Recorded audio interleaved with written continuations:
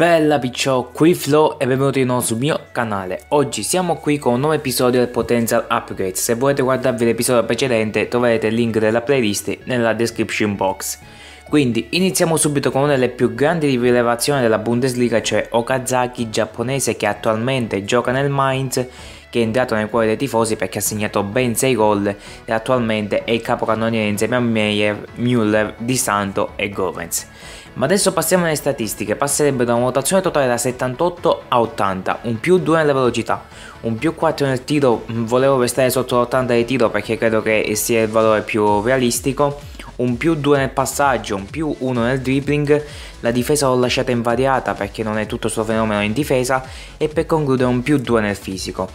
Il prossimo giocatore è un attaccante che ha già fatto innamorare mezza Europa, cioè Carlos Bacca, colombiano che attualmente gioca nel Siviglia, già l'anno scorso aveva fatto bene, però quest'anno è davvero scatenato ben 7 gol e come per la Vivei e a pari gol commessi, infatti anche Barcellona ha messo gli occhi sul giocatore colombiano, ma adesso passiamo alle sue statistiche. E non avrebbe questo upgrade così corposo perché lui è già un bel 81 di votazione totale comunque passerebbe da un 81 a un 82 quindi gli darei un più 1 nella velocità un più 2 nel tiro perché ha davvero un tiro notevole un più 2 nel passaggio un più 2 nel dribbling perché nella realtà skill abbastanza bene la difesa resta invariata un più 2 nel fisico Chiudiamo l'episodio con un, con un italiano, cioè con Graziano Pellè, quest'anno sta facendo benissimo, ha fatto 6 gol in Premier League, ha debuttato in nazionale segnando anche un gol, finalmente quest'anno sta dimostrando di essere un grandissimo giocatore, soprattutto molto sottovalutato dalle critiche in generale perché molti lo definivano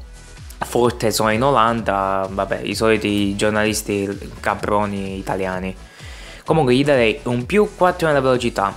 Raggiungerebbe l'80 di votazione totale, un bel più 4 nel tiro perché posso assicurare che ha un tiro strepitoso, un più 1 nel passaggio, un più 4 anche nel dribbling, un più 2 nella difesa e un più 3 nella forza fisica, anche se gli vorrei dare molto di più ma voglio, essere, voglio tenermi